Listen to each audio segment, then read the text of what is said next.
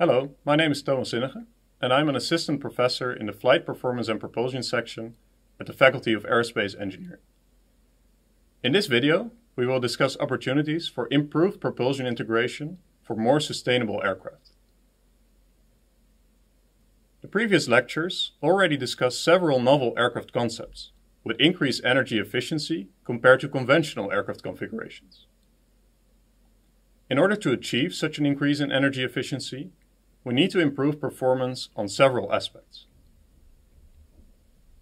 In terms of the propulsion system, we require highly efficient propulsors and highly efficient integration of these propulsors with the airframe.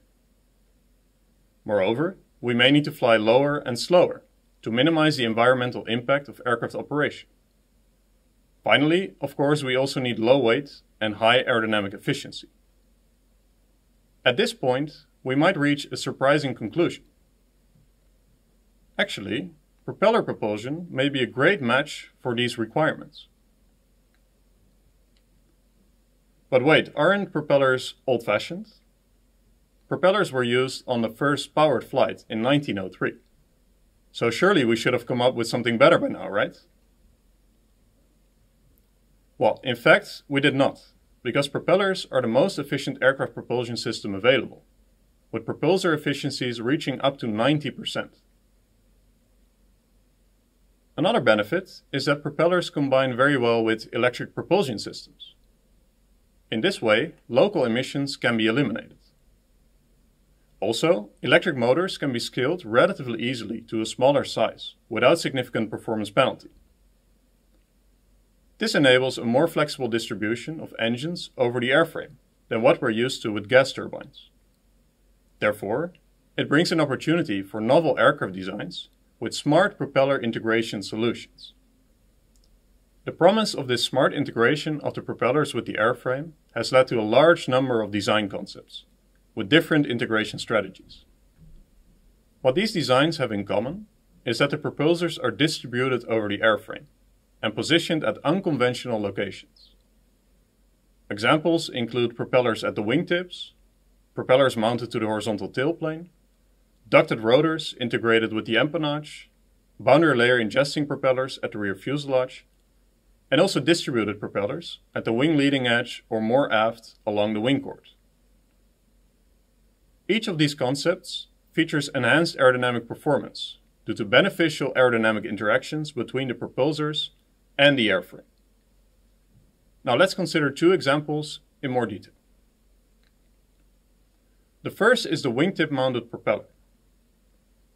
As you have seen before in the course, the wingtip vortex is responsible for lift-induced drag, which amounts to about 30 to 50% of the total aircraft drag in cruise.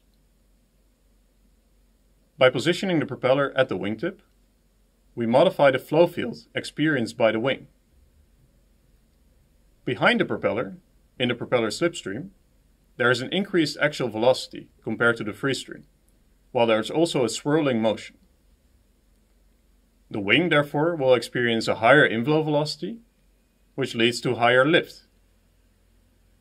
Due to the swirl, the propeller will induce an upwash on the wing, which leads to a forward tilting of the lift vector, and thus a reduction of the lift-induced drag. As a result, drag reductions in cruise of up to 15% have been measured compared to a conventional propeller wing layout. For this to work, the propeller needs to rotate in opposite direction to the wingtip vortex. Another way to achieve improved wing performance is by distributing a series of propellers along the wing leading edge. This leads to lift augmentation due to the increased axial velocity in the propeller slipstream. For a given lift requirement, this can be exploited in two different ways. One option is to reduce the wing size while maintaining the freestream velocity. This leads to lower friction drag. The other option is to reduce the freestream velocity while maintaining the wing size. This leads to lower noise emissions and shorter takeoff and landing runs. Because the propellers now are so close together, they will interact with each other. This leads to a modification of the slipstream characteristics and also the noise emissions. One technique to control the resulting adverse effects is by synchrophasing the propellers. With such technique, the azimuthal angle between the blades of the adjacent propellers is optimized to minimize adverse interactions. Of course, the performance benefits that we just discussed do not come without challenges. The propeller slipstream flow field is actually very complex and includes time-dependent features. Therefore, the resulting aerodynamic interactions on the airframe will be unsteady. Moreover, because of the close coupling between the propellers and the airframe, the propeller blades will experience changes in loading during the rotation. This leads to additional noise and vibrations. Besides, there are also challenges at aircraft integration level that require attention, such as complexity of the systems, weight increases, impact on stability and control, and also certification challenges.